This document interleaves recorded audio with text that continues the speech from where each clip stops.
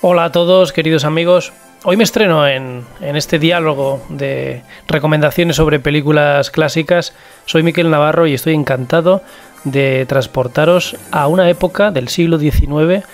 en donde se hacía, se cometía una serie de delitos eh, bastante macabros con fines eh, científicos, nada menos era robar cadáveres de las tumbas para eh, analizarlos, para diseccionarlos en aquella, en aquella época donde había falta de medios y donde los cadáveres escaseaban para fines científicos. Así que normalmente la película que hoy tratamos, precisamente El ladrón de cadáveres, normalmente, como digo, el médico en cuestión contrataba a una persona que realizaba ese trabajo sucio y mísero que era robar eh, un cadáver recién enterrado para de forma pues eh, totalmente pues encubierta y con alevosía y nocturnidad, nunca mejor dicho, llevar el cadáver de forma escondida eh, hasta los sótanos de la casa, en este caso del médico en cuestión, que pagaba una cantidad para que así, así fuera. Esto es lo que nos cuenta la película de Robert Wise, que hoy vamos a analizar, la película de 1945.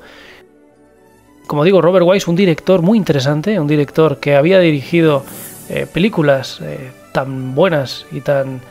tremendas como Marcado por el Odio, aquella película con Paul Newman de, boxeador del año 56, o The Sand Pebbles, en la película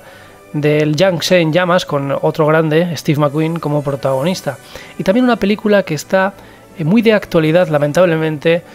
por los últimos acontecimientos que nos está tocando de lleno con el tema del coronavirus, que es La amenaza de Andrómeda, una película para recuperar en estos días, la película de 1971 escrita, por cierto, por el gran Michael Crichton, ¿eh? autor de numerosos libros, eh, guionista y también director, lamentablemente fallecido con una edad, eh, una edad bastante joven, bastante temprana. Bueno, la película que hoy, que hoy nos ocupa es, como digo, The Body Snatcher, su título original, una película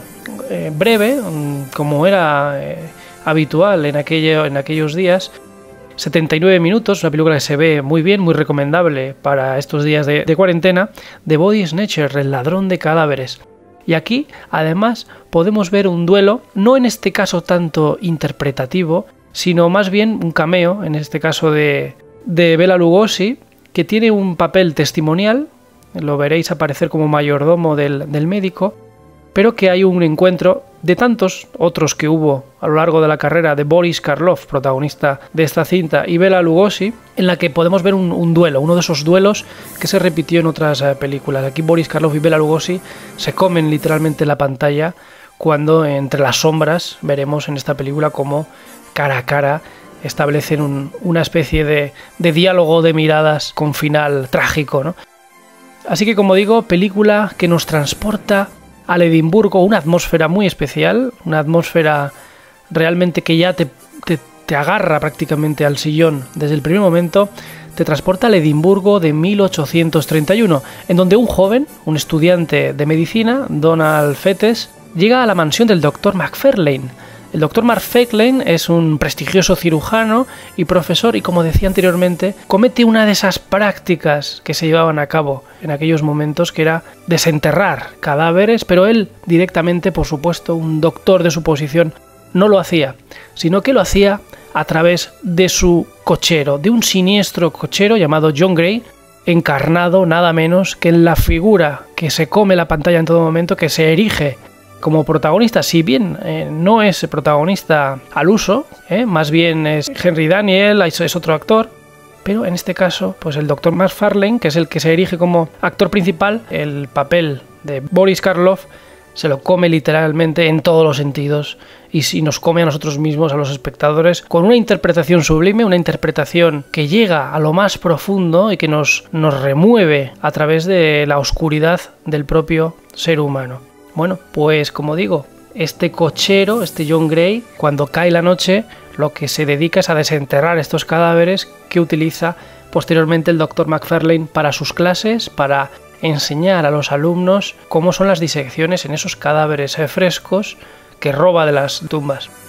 Pero John Gray no se quedará satisfecho con cobrar eh, su paga por dicha acción, tan terrible acción, sino que aprovechará esa situación que le coloca de poder, una situación que le coloca psicológicamente incluso por encima del propio doctor, y lo que hace continuamente es chantajear al propio doctor, reírse de él y así ponerle continuamente en, peligro su propia vida. Y a partir de aquí se desarrolla pues una película que en todo momento mantiene una tensión tremenda.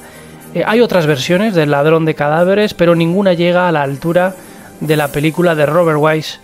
El ladrón de cadáveres, con un guion de Philip MacDonald, de Val Lewton, y la historia nada menos la historia original es de Robert Louis Stevenson. Así que, como, como digo, ese costumbrismo, esa época recreada del siglo XIX, de mediados del siglo XIX, en ese Edimburgo entre la niebla,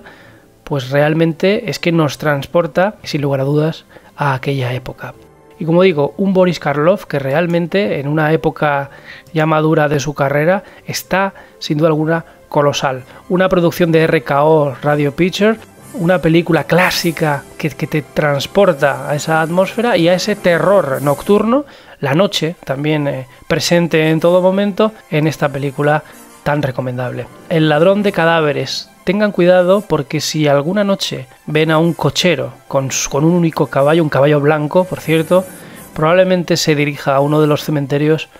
para desenterrar un cuerpo. Pero no se va a quedar contento con eso, va a intentar chantajear nuevamente al doctor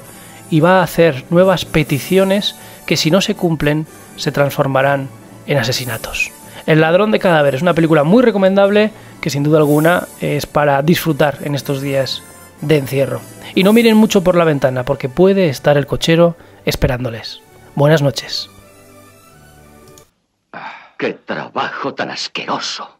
Podría ser peor. ¿Cómo? Podría llover.